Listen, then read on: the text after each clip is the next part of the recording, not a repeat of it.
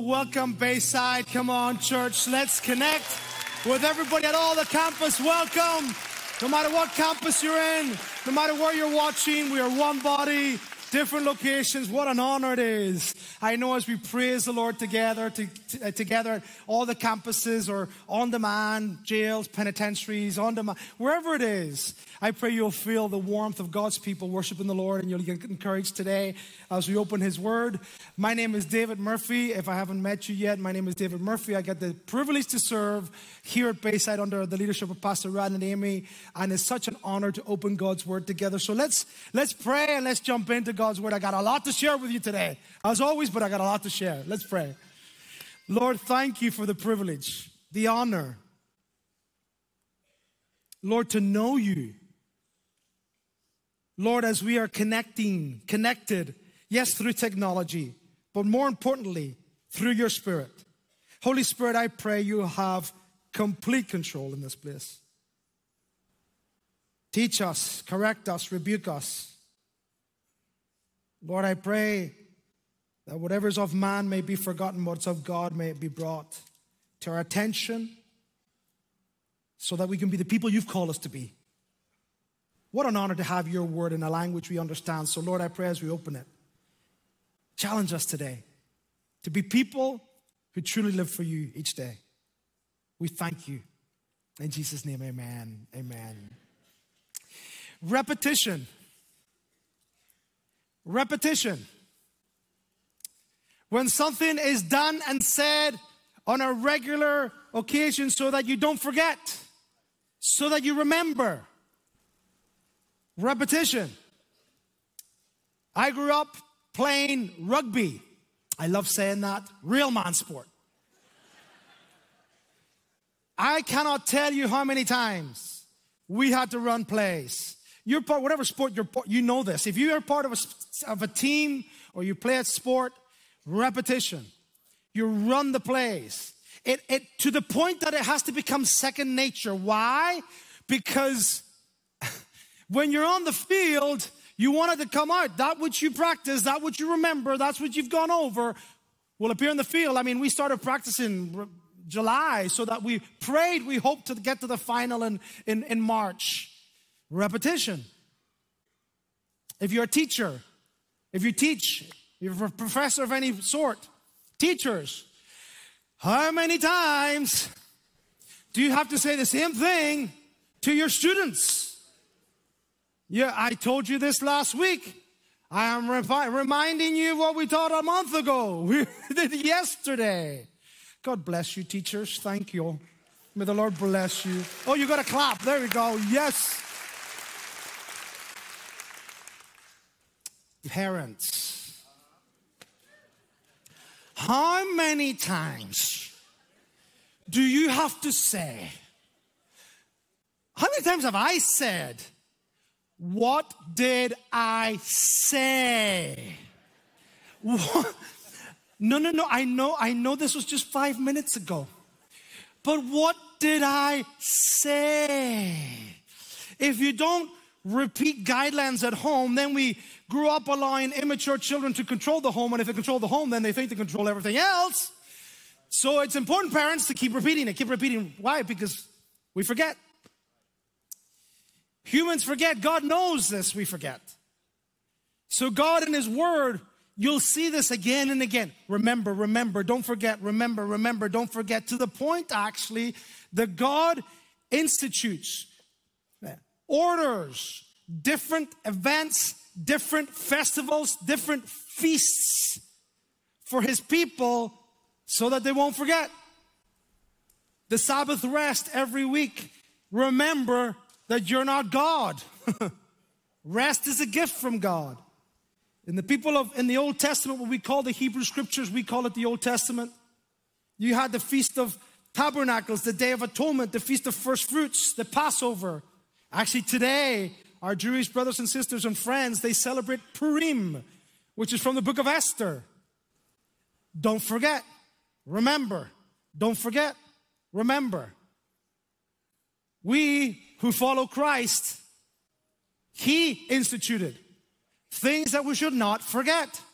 Remember, one of them is next weekend. As next weekend, we celebrate what we call Easter or Resurrection Weekend. This is what sets Jesus apart. You see, Jesus, yes, died, but if he had stayed there, he would have been like every other religious figure, like Muhammad and Buddha, like Joseph Smith or Gandhi, like Ron Hubbard or whoever it is.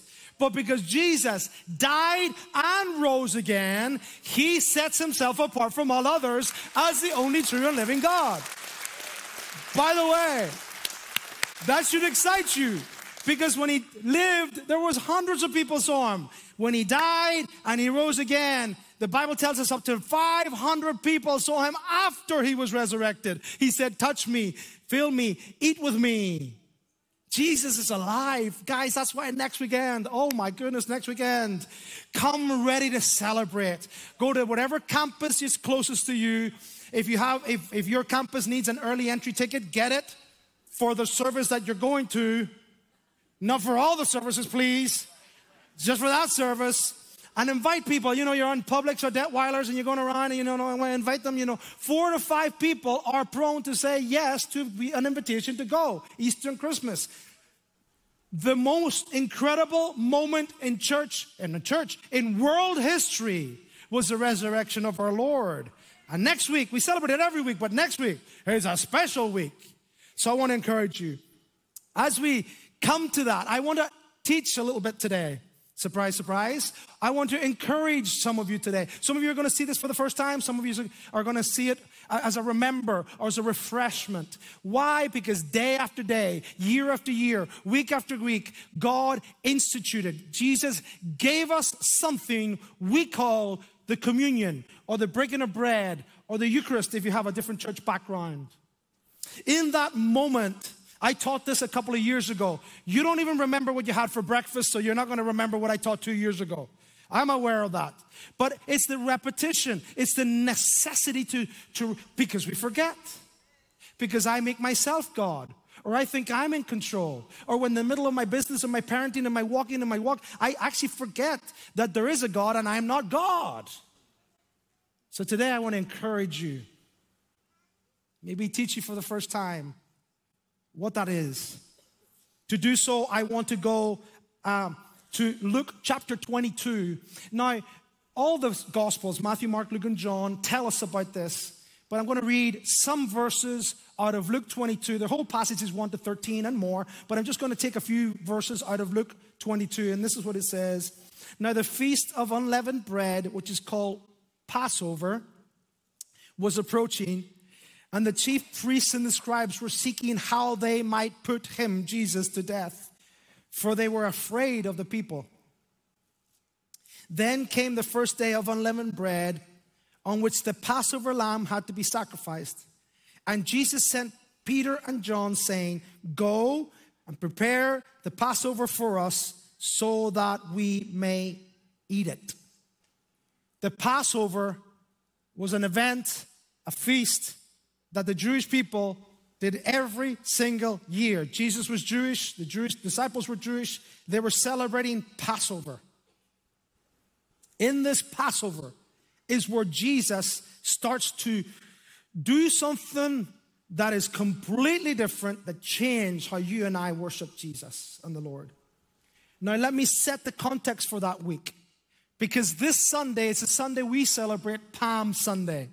This is the Sunday that when Jesus fulfilled the prophecies of Zechariah, he came into Jerusalem sitting on a donkey.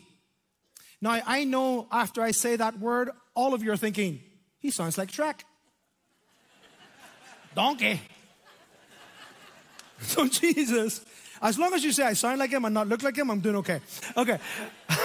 he comes into Jerusalem. The palms were set in front of him, a sign of a victorious king, shouting, Hosanna. The people at the time recognized who he was. The crowds shouted, Hosanna. Now, I have taught, I have taught, and many others have taught. Well, the same crowds that, crucif- that shouted Hosanna on a Sunday crucified him later that week. I, I, I want to I want to maybe make you think about something different because Well, actually, that passage tells us the religious leaders were not happy with that. They were afraid of the people. They were already making him king. He was coming as a king. He was coming to fulfill Zechariah prophecies and all the other prophecies. And in the middle of the night, they go for Jesus. And the, they put him in, a, in the front of the court in the middle of the night. The people, most of the people, the crowds were sleeping. Jesus was actually on the cross by 9 a.m. Most of the people were just waking up to find, wait a minute, this is the one who was supposed to be king. Why is he crucified? So maybe that wasn't the same crowds. And why did I say that? Because when Jesus did rise from the dead, a few weeks later, when Peter stands in front of a large crowd, filled with the Holy Spirit and all the disciples, we are told that 3,000 came to Jesus that day. Why? Because they recognize him king and now they've seen him as a resurrected king. Not as a king that they expected, but a different type of king. So in Palm Sunday, we proclaim him as king. He's a king that's different. He's a king not like you and I think he's supposed to conquer. He come humbly on a donkey to die. So as we look at this, I need to uh, teach a little bit of what the Passover looks like because it's impregnated with meaning. So hopefully it will help us when we break bread, we realize, oh my goodness, there's more going on here than just a little bit of bread and a little bit of juice. For my journey on this Passover, it was six years ago that friends of my father in law invited us to have Passover. They are Jewish. They celebrate this every single year, Passover. We were invited to be part and participate. Um, they are not, they did not acknowledge Jesus as the Messiah. They did not acknowledge that Jesus is actually the fulfillment of what you will see in a minute. I'm going to teach you. But as I'm sitting there, I'm like, I was invited for a meal. I thought it was a meal. You know, I grew up in Spain. I'm from Ireland. When I sit down, there better be bread and Irish butter together right there. We're going to start like that, okay? And I arrive, and I arrive, and there's like crackers, and they're making me eat some things that are like, what? What is this? And we're reading, and the family's involved in reading and asking questions. And I'm, I'm at that, I'm having this moment of like, oh my goodness, Jesus, you're all over this.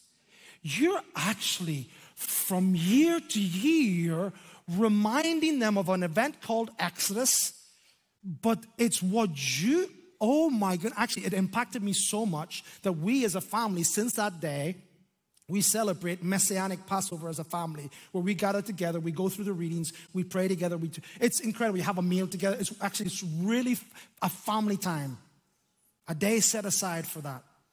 So let me get the context, and then I'm going to jump in, because the context is this: God creates Adam and Eve, and Adam and Eve disobey God's direction, and in doing so, in disobeying, we are infected with sin. We are, the Bible says, we are dead spiritually. We cannot respond to God the way God originally designed us to respond to Him. And on that day, God gave giver had to have a sacrifice, death for life. A blood sacrifice of a lamb was given to cover Adam and Eve. As the generations go past, God elects Abraham, Abraham, Isaac, and Jacob. Through them, a people through whom he was going to show the world who this God, who he was. These people, the Hebrew people, end up in slavery. And in the book of Exodus, under the superpower of Egypt, you have seen the movie with Charlton Heston, or you've seen the animation, the, the, this, uh, the, the, the story where, where, of Moses, and it's incredible. Let my people go. Interesting. That is the event where we see about 10 plagues. Every single one of those plagues, guys, is a god that the Egyptians, who were the superpower at the time, worshiped. So every plague knocks down one of their gods to show they are not really gods. I am God.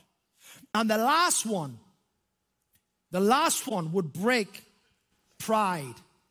And the last one, that last plague would break rebellion. But there was a blood sacrifice. And this is where Passover was instituted. Let, it, let me read it with you in Exodus 12.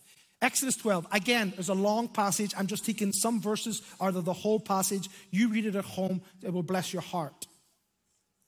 God institutes a substitute. And this is what it says Your lamb, verse 5, we're jumping into verse 5. It says, Your lamb shall, we, shall be unblemished, male, a year old. You may take it from the sheep or from the goats, verse 7.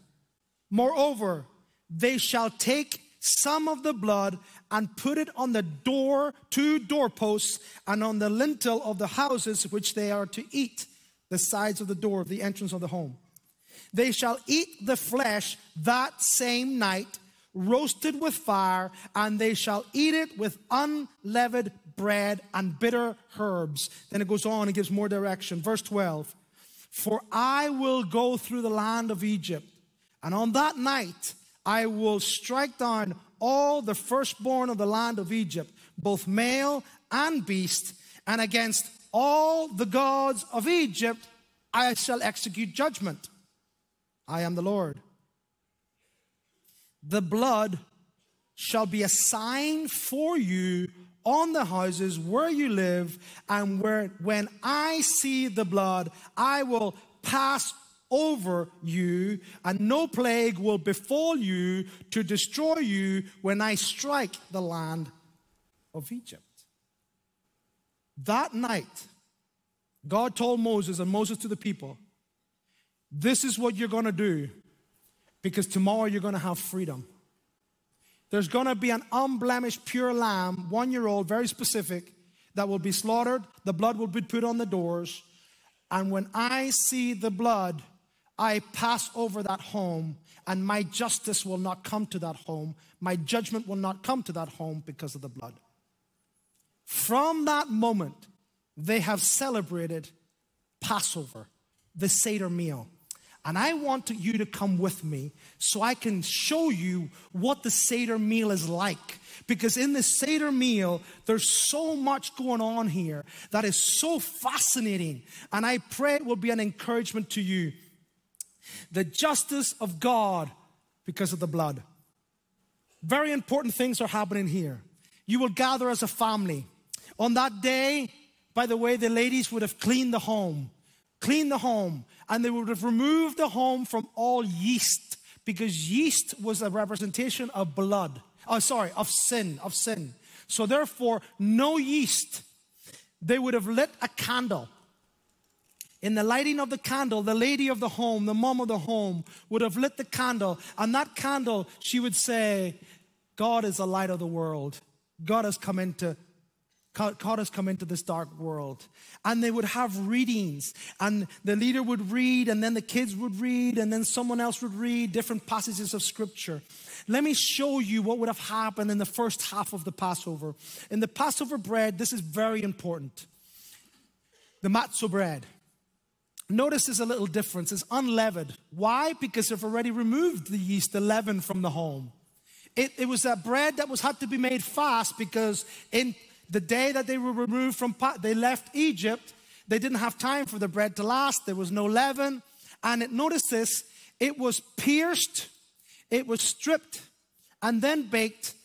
This is the type of bread that they would have had and they do have from generation every year, every year, remember, remember, remember, repeat, remember. Why? Because you forget.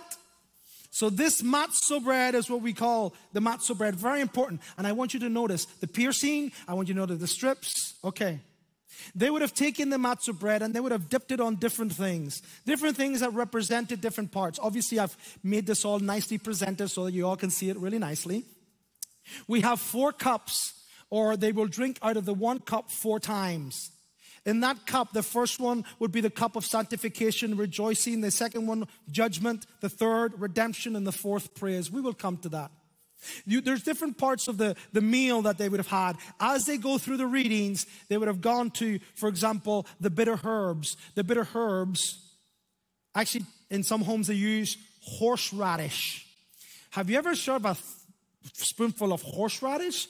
it creates tears. By the way, when we do this, even with my seven, my eight year old, he has to eat it with matzo. And it's not just a dipping, Take it. You need to taste it. Why? Because that is what sin does to you. Disgusting. It's, a, it's connecting memories to tastes to Bible reading. They had the karpas, and the karpas is the, the green leaves, and the green leaves was dipped into um, uh, salty water. Why? Because God was going to bless, but sometimes blessing comes through tears. Not all tears are negative. They would have eaten, they would have read, they would have tasted, they would have remembered of what God had done, bringing them out of physical slavery. For 3,000 years, our friends, our Jewish friends, do this every single year. Then you've got the Chadaseth, and I'm not Hebrew, so I'm not saying it right, but this is, this is where it reminds them of the brick and mortar. It's done of like an apple and a cinnamon, so there's a sweet taste to it, and they connect that with the bitter herbs and they eat it together because even though it was hard, it made them who they were. Eating it with the matzah bread. Since then, since they have no temple in, in, in, in Israel, the, the bone shank is part of a representation today of the of the sacrificial lamb, which they don't have, so they have it as a, as a bone, and then the harden of uh, Pharaoh's heart. It's a, um, a boiled egg, so just a symbolic. So they would have the readings, they would go through all of this to start with a candle, then they would have the drink, then they would try, then they would read, everybody would be reading, and then they would get to the second cup. The second cup is the plagues, the second cup is the cup of deliverance. And it's interesting, at this point, they would dip their finger and put it on 10 times onto the plates. Why? Because that was a symbol of God liberating them from the plagues, but they didn't want to rejoice in somebody else's hurt. Interesting that, isn't it? I rejoice when somebody, my, my enemies, they hurt. I rejoice. They didn't. They rejoiced, but they did it in a different way.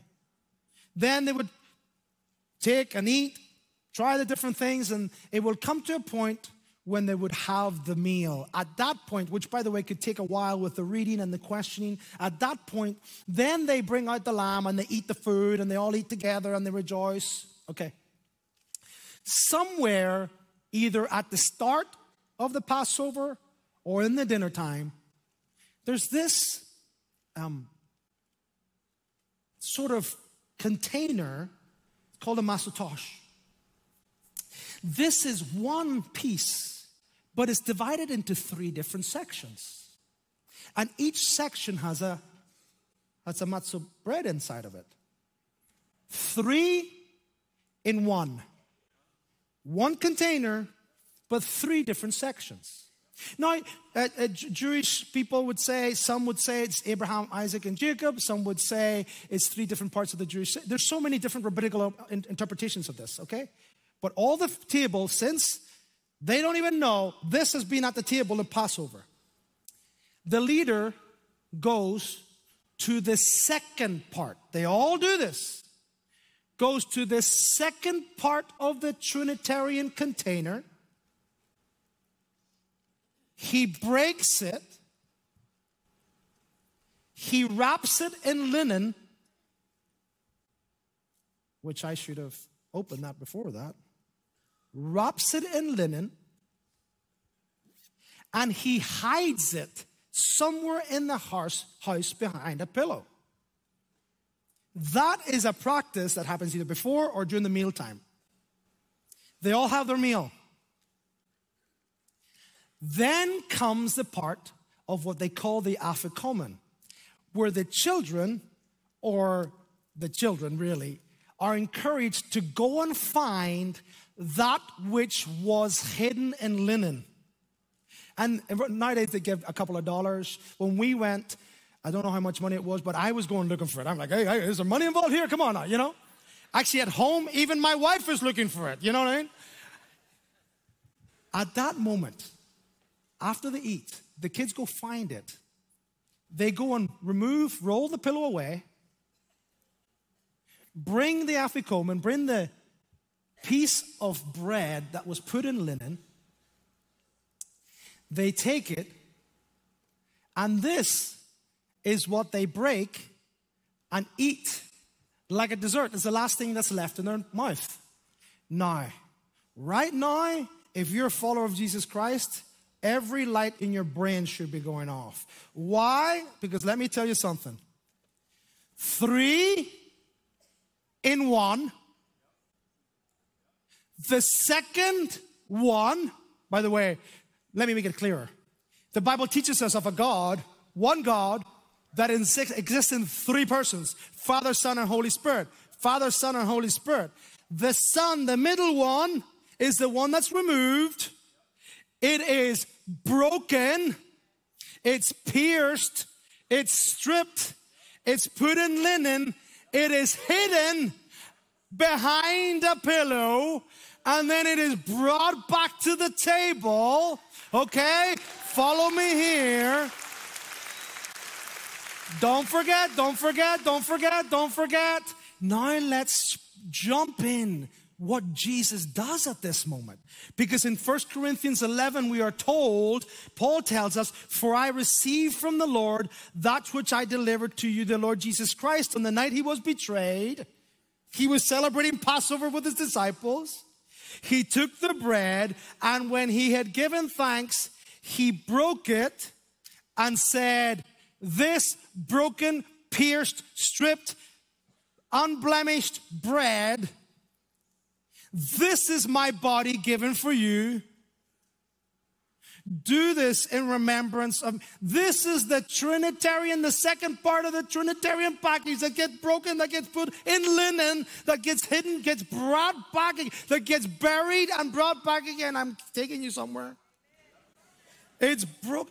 He says, This is my body given for you. Do this in remembrance of me. Jesus, I don't think the disciples understood it at the time. But within 24 hours, the second person of the Trinity was beaten, stripped, pierced, and was buried in linen. The enactment of what Jesus then fulfills is right there. The Passover, thousands of years before, all these prophets, Jesus is now fulfilling, by the way, up to 300 prophecies. I don't know if you realize how exciting this is. In Luke chapter 22, you know why? Because I think I have to save myself. Because I think I have to be in control. Jesus took that bread. He said, This is my body. Look, actually, 22, verse 19 says, This is Jesus' own words. And when he had taken some bread, given thanks, he broke it and said to them, This is my body given for you. This do in remembrance of me. See, when we break bread, it's not just a piece of bread, guys. It is, it's symbolic. Yes, a piece of bread, but it's a lot more. The second person of the Trinity that was broken, that was pierced, that was stripped, was hidden, that was brought back. That's the piece he broke up. That's the piece he shared. The Afikomen. Jesus is the Afikomen. He did, they did not take his life. He gave his life. Within 24 hours, he fulfills it. And the next thing they do in the Passover after the Afikomen is drink the third cup. They drink the cup of redemption. Redemption. The act of regaining possession of something in exchange of a payment the clearing of a debt. As they drink that, they're reminded that God paid for their debt. That God was the one that brought them physical freedom in the book of Exodus. Jesus does this, verse 20. He says, At the same time, he took the cup after they had eaten. By the way, in 1 Corinthians 11, it was after supper. That's why we know it was this. It was after supper, after supper. He says, This cup which is poured out for you is the new covenant in my blood. This is the, it's not about a, the blood of a lamb anymore. It's not about the blood of an animal anymore. He told them then, my blood. I, my blood is going to be this sacrificial lamb. And I'm telling you, the disciples probably didn't get it, but after the resurrection, they got it. They understood It was the body that was broken. It was the cup of the new covenant. In the, in the Passover, it was after. You see, Jesus was the one that within 24 hours goes to the cross, gives, gives his physical body, gives his blood. But then in the resurrection, he shows his power. I, I, some Jewish historians uh, tell us that in the Passover, as the blood was put on the doorposts, it's like a triangle pointing to where is our help going to come from? Where are we going to get our answers? And in the cross, I love the imagery, where it's in the hands and in the feet, the blood is an arrow pointing downwards, where God came to fulfill, God came to save. God was the one that initiated, God is the one that loves, God is the one that saves. It's in God. So that's why when we break bread, it's so important. 1 Corinthians 5 7, Christ our Passover. It's no longer an animal. God is the one, the second person of the Trinity, which I find absolutely fascinating that they don't even know why this is on the table. But from generation to generation, they've been doing it. They take the second one, they break it, they hide it, they bring it back. That's the Afikomen, that's the cup of redemption. So when you and I take breaking of bread, it's not some flippant thing that we do whatever Sunday. But no, this is to remember what Jesus did for us. In 1 Corinthians chapter 11 verse 28 it says this a person must examine himself and in so doing he is to eat of the bread and drink of the cup so before we take this we are to stop so if you're not a follower of jesus christ guys i need to tell you what the bible says the bible says you and i have a problem spiritually sin it affects everything i'm bent against god just look at your children. You don't teach them how to lie, they do it. Religion tells you what you have to do clean the outside, clean the outside, tick, tick, tick, tick, tick box. The Bible has told us what God has done. Jesus stepped into time and place, so he was God, unblemished, pure, holy, voluntarily became the lamb, sacrifice, blood so that you and I, in accepting Him as the Lord, in recognizing Him as the Lord, we can have forgiveness and purpose and hope. It should weigh, it should impact how I live my life. Not just a token on a weekend, not just some random Christmas and Easter. Every moment, every time, I represent this King. So, what does it do? Well, actually, by the way, at all our campuses, if you're watching at home or you're get ready to break bread because we're going to do that together as a family. There's a little cups you were given on the way in. Let's get ready, but we are told to first examine ourselves because Jesus is the one that paid the price. So we don't want to just walk away and we don't want to just do this in, in, in, a, in a casual way. This is, this is a holy moment, this is a remembrance moment. So at your home, go and get a, something bread and a juice, whatever it is, get whatever you need. Because at this moment, I want you to remind, remind, remind you of a few things. It's participatory. In other words, everybody's welcome.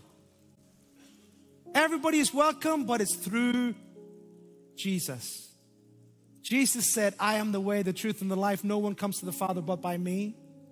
It's not through the a church or your church or my or Bayside is through Christ. So if you're not a follower of Christ, by the way, I'm going to lead you in a minute of prayer where you I would love you. I'm begging for you to understand what Christ did for you.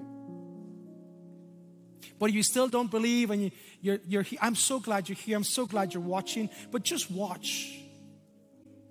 But for us, you're followers of Christ, we're we're called to participate. This is a reminder. This is remember. Don't forget, remember what I did for you. Second is a time of self examination where we ponder, we think, we pause. Are my motives, my actions, my attitudes? It's a place where we ask for forgiveness and we give forgiveness. Jesus said, if you have something against you, someone has something against you, leave your sacrifice at the altar, go and be reconciled, and then come. In other words, your sacrificial offering of worship and giving is secondary to reconciliation. Yeah, it's okay to come to church, but get yourself right first with others. Because then God can work on the inside. You don't have to clean yourself before you come. It's through Christ, it's through His blood, it's through His body. You don't have to take a box. You don't have to try to perform. I don't know how many times people said, Oh, I don't want to go to church. I want to burn. What? Church is the place where we proclaim Christ. We're all a bunch of losers anyway. We need Jesus. If it wasn't through Christ, we wouldn't be, what? We're wasting our time. If it wasn't for the resurrection, we would be wasting our time, Paul tells us. It's a place to remember. Don't forget, don't forget, don't forget. It's a place to be thankful. Oh, if this doesn't make you thankful. That is not about performance. It's not about position. It's not about money or education. It's about what Jesus did. It's a place where we realign. Because what, maybe this week, not maybe this week, I know this week, me, I just need to be rem- reminded and readjusted and realigned that what God, I, I, you're God, I'm not. You're in charge, I'm not. I just want to follow you. If I'm, if you rose from the dead, I'm good with everything else. If you can look after that, you can look after my family, you can look after my business, you can look after everything. I just need to obey you. It's a, it's a place of proclamation, proclamation where we proclaim who Jesus is. By the way, we, we Breaking the Bread, we church, we sanitize this. You know, you all have your reed cups and you all have your little things, and it's great. But you know crucifixion. If you've been around an animal being slaughtered, it is messy, it is dirty, it is bloody. Within 24 hours, our Lord Jesus Christ was crucified, was beaten, was pierced, was stripped, was spat at, was was laughed at. He could have called the angels and wiped them all out. He could have gone another way. Actually, Jesus himself said, Take this cup up upon me, but my, may your will be done, Father. He was obeying, even Jesus was obeying the Father. Obedience is a great Christ like quality. In it, we celebrate. We celebrate that our King did die and that our King did rise. And that our king, the Bible tells us, he's coming back again. And he's not coming back again as a baby in a manger. He's coming back as the King of Kings and Lord of Lords. And every tongue will confess and every knee will bow and will declare that Jesus is Lord. So it's a time of celebration.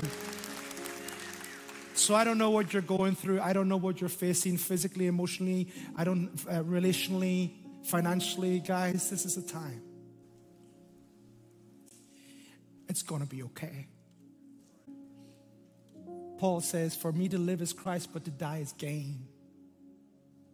One of my professors used to say, David, we're in the land of the dying, going to the land of the living. So we get the opportunity each day to represent him, the true king, to thank him.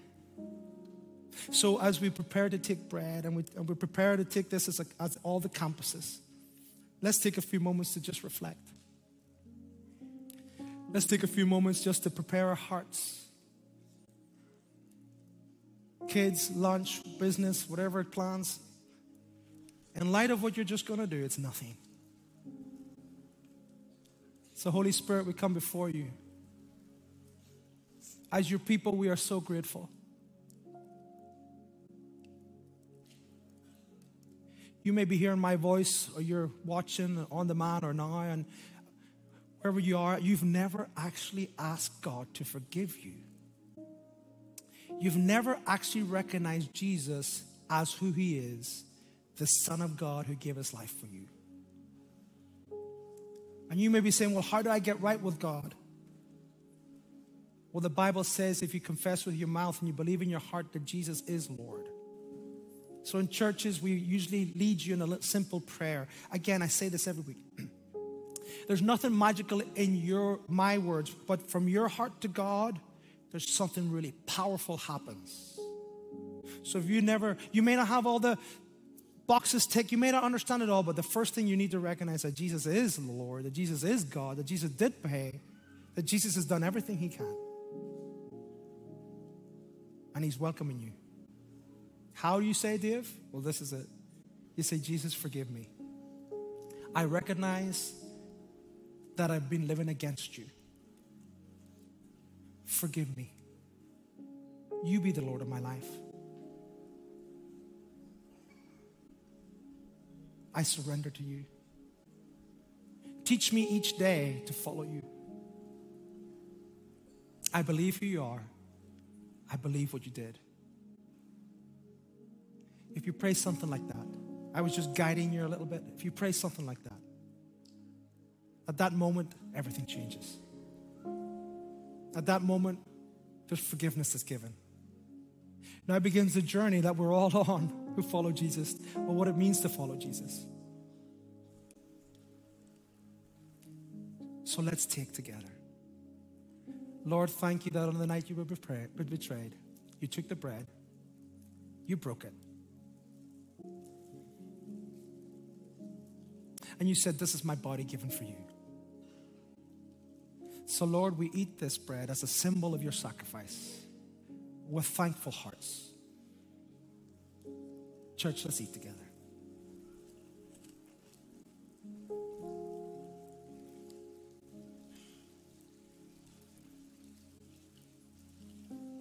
And then, Lord, you took it after supper, that cup, the cup of redemption, the cup of the debt that was paid, the buying back what was yours in the first place, the blood of the sacrificial lamb, Lord. Thank you. And you said this is a new way to approach you. Lord, not with the blood of an animal that has to be repeated weekly or daily or monthly or yearly, but because of the blood of Jesus Christ. So as we take this cup, we are so humbled by what you have done. We're so thankful. Please, Lord, allow us to live for you each day. Lord, in light of this, especially this week, we eat in remembrance, we drink in remembrance of you. Let's drink together. Father, thank you for your grace and your mercy in our life. Thank you for how the Passover reminds us reveals to us that this is a very important, important event where we remember, where we rejoice, where we worship. So, Lord, I pray this week you will give us an opportunity to show the love of Christ, to share the love of Christ. And Lord, I pray this week we will never forget what you've done for us. We love you, Lord. In Jesus' name, amen. Would you stand with me and we're going to, guys, in light of this, I'm going to ask you really, in light of this, in this moment, we're going to sing a song about who Jesus is. This is a moment to worship. Guys, five minutes extra in a parking lot is nothing in comparison to this. So just take your time. Just worship Him.